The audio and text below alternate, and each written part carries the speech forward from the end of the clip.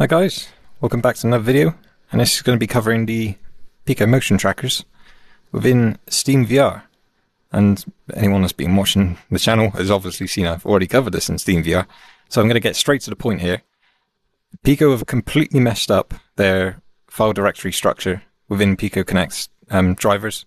So while some stuff like VR Chat and Dance Dash and other stuff is working just fine, really, um, I think that's based off luck more than anything. So Blade and Sorcery I can not get working. Um, Dance Dash, while working just fine without an avatar, as soon as you enable an avatar, it would break. Um, there's a few silly things here, so I'm going to give credit where credit's due um, and bring up the, the Discord from the the guys that obviously found and obviously experimented with the configuration files. So the Owomushi Pico VR Discord, and I cannot say that in my accent, um, Elbios, and that is either Gmouser, uh, Gmou, Gmouser26 or Gmo User 26. I don't know which. Sorry, mate. Um, what they found is essentially Pico have messed up and not gave um, the correct file directory, the working directory for the motion tracker drivers um, to Steam VR. So this section here is Pico Connect's on or off setting, essentially for um, for the games to use if they support Pico motion trackers. Um, but in Steam VR, it's pot luck whether these um, tracking points will work. So in the case of Blade and Sorcery, it wouldn't work. So very quickly go over what the deal is on this, um, just so people have got reference to why things are not working. Um, if you get in as far as the input folder, um, I will put on the screen now where you need to go. The input folder has controller input, obviously configuration files, and one of these is the Pico tracker.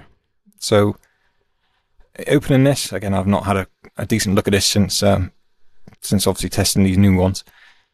What's happened is the the working directory for all of the um, estimated tracking points is looking to a Swift folder. Now, the Swift, for anyone that's not aware, is the old Pico motion trackers, the development kit. Do not buy these. They're discontinued or they weren't even available outside China, outside China anyway. So don't buy those. They're not going to work. Um, but what's happened in the software is is still looking to that working directory of the dev kits. So what the guys have done is obviously noticed this. Um, notice there wasn't the entire population that they could use within Steam VR. So they've added um, camera profile, keyboard profile, elbows, ev- everything they possibly can, because those guys are more interested in getting VAM working. If you don't know what VAM is, I'm not gonna show it. Um, they're more interested in getting as many tracking points as they can using these um, trackers with the estimated points. So essentially telling Steam VR, hey, look, you've got all of these things you can use. So that's the first file that needs to be changed, essentially, um, if you want to add more. Um, but the main fix is adding the missing Swift folder.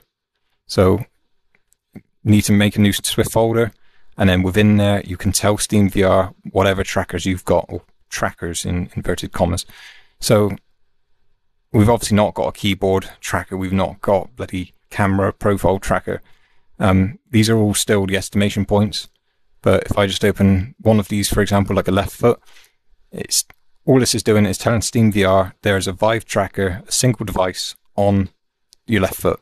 So that's essentially all Steam cares about is when the game says, okay, you can do full body tracking and you've got a tracker on your foot, where is the working directory for that? And essentially this was missing. So that's why stuff wasn't working.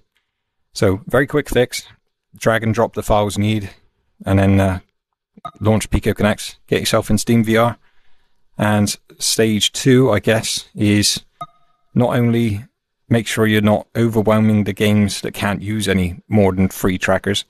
Um, start with the waist and the ankles, like this. That's the, the most compatible I find. Um, you don't technically need the waist for trackers, still estimated. But you need to go into actual Steam VR bindings. So get to your Steam VR settings, go to controllers, go to manage trackers. And if you had virtual desktop installed, um, especially for Quest 3. All of these virtual desktop stuff are like the upper body um, estimation tracking. Turn those off. You, you don't want those mixed up. Um, and the only things you should see enabled um, and green to be able to configure and change is the ones that you've enabled within the Pico Connect overlay here. So I've only got a waist and I've only got ankles. Ankles will be treated as a left and right. So yeah, the Vive tracker controller bindings, essentially I'm mapping the tracker role of the left foot to the left foot, right foot to the right foot, and waist to waist.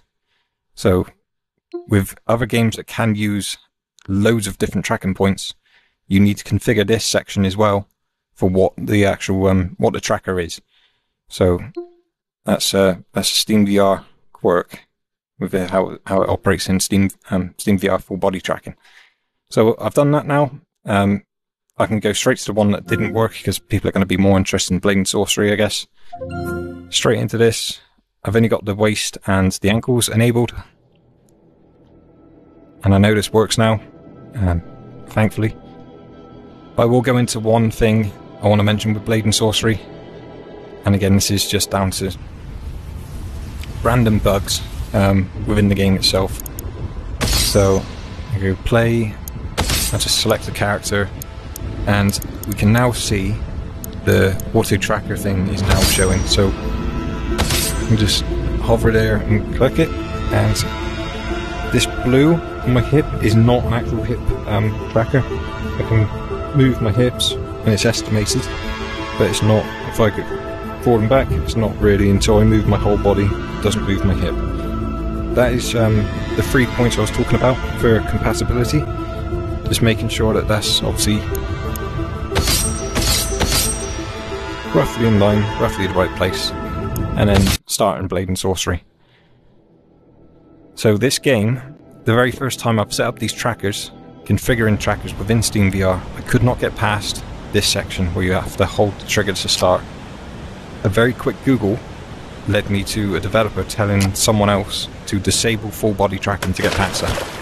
Um, that sounds absolutely ridiculous, but what the problem is with this game, if you've messed with um, SteamVR trackers before launching and not restarted SteamVR, um, for whatever reason, Blade and Sorcery doesn't care. It doesn't see the trackers, or if it does see the trackers, it then doesn't see your hands.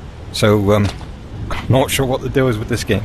It's always giving me problems. Um, I'll hopefully be able to keep it this time because it's now working, and I can be very cruel and kick people. Spartan kick. I'm going to kick my desk. As you can see, the boundary coming up. Um, but we have legs in Blade Sorcery, so that's all people really care about. Um, I'm not going to destroy my room or my or break my toes in the process. But yeah, this is now working. Um, but it is a case of just choosing the right combination here. And like I've said, waist and ankle seem to be pretty good for me. Um, and then also making sure SteamVR is set with the controller binding manage tracker options and restarting SteamVR after any changes before launching into a game. So for the most part, like shown in previous videos, you can just use this for VR chat. You don't need to mess with any of the new configuration files or Steam VR tracker side. VR chat seems to be perfectly happy listening to this, but it, it can't hurt if you really want to set up your trackers and do it that way, or change um change tracking points that way. But yeah, as shown, Blade and Sorcerer is now working. Dragon Fist, Kung Fu, that's now working. That takes a quite a a lengthy um, ca- calibration process. I mean, it, it'll give you legs straight away.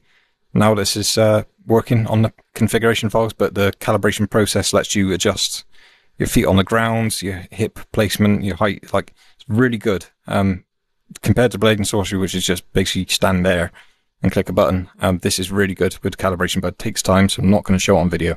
But Dragon Fist Kung Fu VR is working when you raise your um, knees up, even though I've not got knee um, trackers as an estimation point, using just the basic waist and ankles, um, nothing on the knees.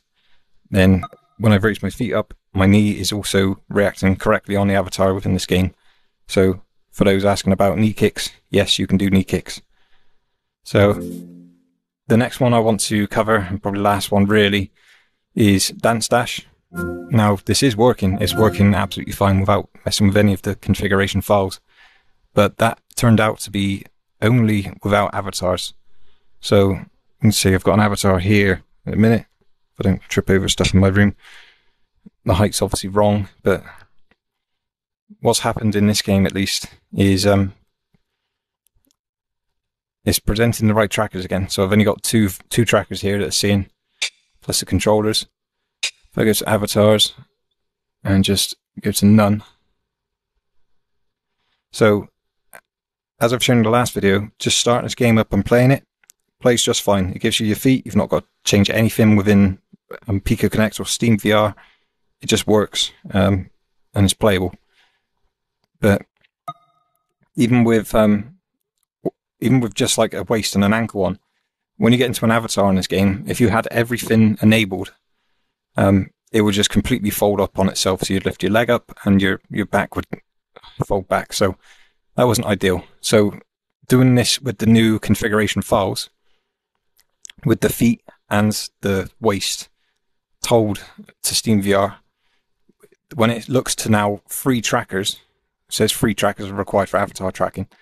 I've not actually got a tracker on my waist. Remember, I've only got estimation. But when I go into the avatar now, if I go in and just make sure I'm not going to look in the wrong place. So I've got avatar here. I've got a bit of waist. Got my feet. And we're all good. So apart from I've not quite stood a little bit forward to not see my own avatar nose. It's probably not going to come across in recording. But that's all working in here. So if you want to do that, um, like I said, with the with the estimation points, have a play. Um, it does say this game needs free trackers.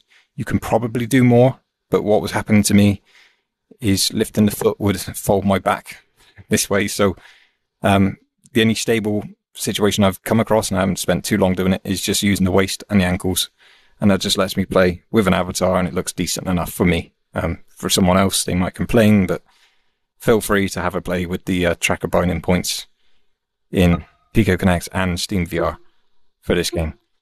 So I think I've covered it all.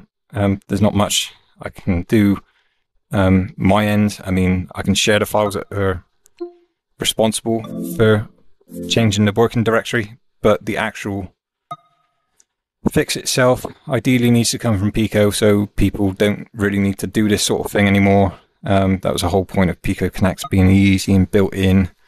Um, it's just a silly mistake that it's looking to the old development kit tracker location, which is obviously not a thing anymore. Um, being removed from the software, you can't actually use development kits with um, with this software anymore.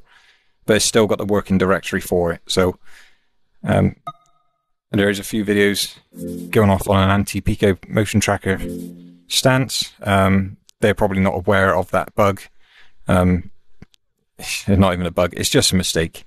So while I'm a pretty big fan of the Pico motion trackers, I'm not someone who plays VR chat. Um, I, I've done my fair share of testing with the development kit, which were working fine. I didn't think too much about the, the new motion trackers. I mean, they obviously are better, um, but for game compatibility wise, I said I've, I've, already refunded Blade and Sorcery because back then I needed to um, mod the game to get the trackers working. Um, not in this in the sense of the actual Steam VR mods. I needed the actual modification of the game to calibrate them correctly. But now this has changed. Um, yeah, it's down to Pico. So Blade and Sorcery is not to blame. Um, Dragon Fist Kung Fu, Dance Dash, everything's not to blame. Is Pico, and they're quite sloppy oversight of where the drivers are actually loading from. So, very easy fix. It's going to be in the video description. I hope it helps. For the guys that are obviously playing VAM, um, I can't share that on this channel. I won't share it on this channel. But there's going to be a link to the, the Discord if you happen to be in the Discord, and then uh, a link to their comment on the fix. Nice and easy. So, cheers, guys. Thanks for watching. I hope that helps.